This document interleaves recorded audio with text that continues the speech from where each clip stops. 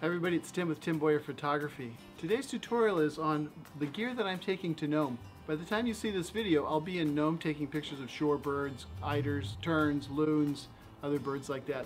Lots of birds go to Alaska for the summertime to take advantage of the insect bloom that's up there and they could raise their young really efficiently.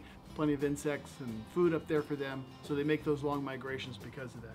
But let's talk about the gear that I take when I go to Nome. So I'm taking the 600 millimeter lens, it always goes in the pack first. I'm taking the 5D Mark IV, my main camera. I'm taking a wide angle lens for landscapes because it's wide open landscape up there, so a 17 to 40 millimeter landscape lens. I'm taking my 25 millimeter extension tube and my 1.4 extender.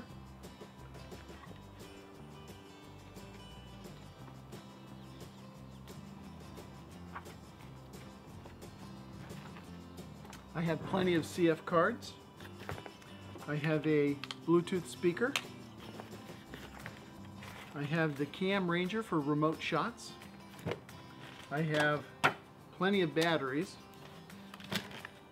And I'm going to take the microphone that's on the camera that I'm recording this with, Rode Video Pro microphone. And then I take the Canon C angle finder. That fits on the back of the camera like that and then I can have the camera and lens lower and then I can look straight down into the angle finder. I don't have to maybe I can kneel while the camera's all the way on the ground. I don't have to lay down if it's too wet or something. So just in case it's too wet I'll use that. And then I have the uh, LensCoat travel hood and I use this because it's super lightweight folds flat fits right in here. The other things that I'm taking are my camera manuals because I always travel with these in case I need to change some settings or figure out how to do something. And then I have a variable neutral density filter and I have a circular polarizer and that's a 77 millimeter thread and that's the same thread as the wide angle lens and the 100 to 400 lens. So that's what goes in my main backpack. And this goes on the plane with me. And then in my other carry-on I have my MacBook Pro external hard drives and the power cables for the MacBook Pro. I've got the 100 to 400 millimeter flight lens. I've got my strap for carrying that around easily. And I've got the Canon 7D Mark II, which I'll put on the 100 to 400. And then I have my binoculars.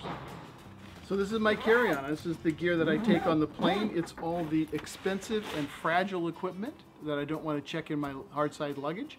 The next little video section will be on what I put in my hard side luggage, tripods and things like that. This is the gear that I'm taking to Nome that I'm going to be putting in my hard side luggage on my check bag. So I've got my muck boots, my rubber boots, I've got a Gore-Tex top and bottom, light Gitzo tripod, light for me, it still has a weight rating of over 26 pounds. The gimbal head from Wimberley. I'm taking a GorillaPod as well, just for some lower angle stuff plenty of bug stuff. I've got uh, wipes, and then I've got the spray stuff, smaller bottle that I can carry with me all the time. And then the other thing that I have inside are these little wristbands, and those are really helpful. You slap those on your wrist and the bugs don't bite you while you're trying to take pictures. And then if it's really bad, I use a mosquito net over my hat, protects my face and stuff, and that's really good.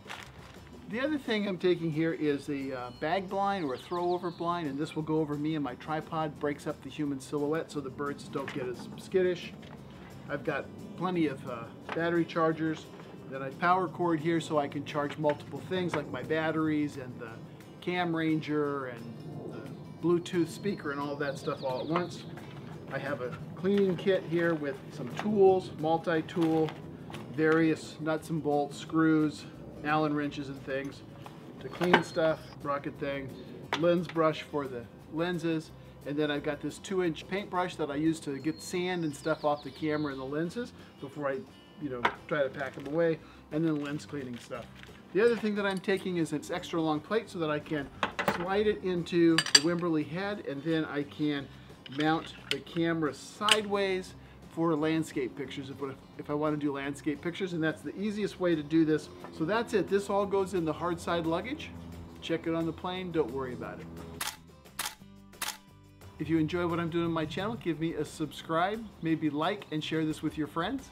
This chapter is sponsored by my book, Learn the Art of Bird Photography. It's available on Amazon as a Kindle book and as a trade paperback, or you can order it off my website at timboyerphotography.com and I will send you a signed copy.